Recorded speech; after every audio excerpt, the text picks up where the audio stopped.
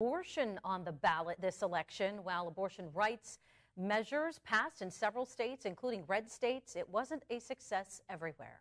Our Washington, D.C. correspondent Rachel Knapp has more tonight.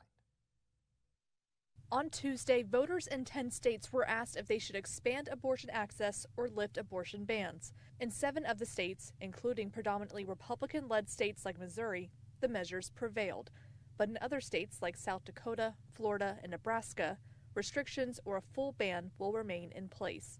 When the Supreme Court overturned Roe v. Wade, many states voted to enshrine abortion rights, including in Republican led states like Ohio and Kansas.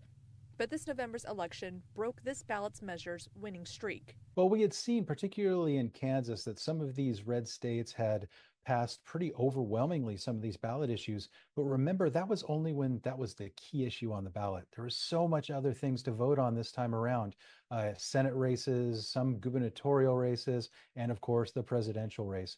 And so people weren't just keyed into this one issue. There was so much more that they could vote on. Political scientists say Democrats believed they could use the abortion issue to get out the vote and help with their party's candidates in this election. Well, the Democrats thought that this was the Republicans' kryptonite, and they still think that they have some uh, motivation there for some of their young base. So I think they're still going to use it.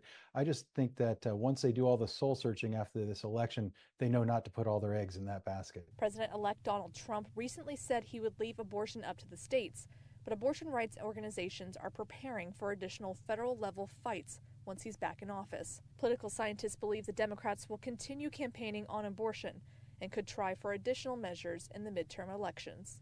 It's often said that when you can't get what you want at the federal level, you go to the state level to try to do it. In Washington, D.C., Rachel Knapp, Erie News Now.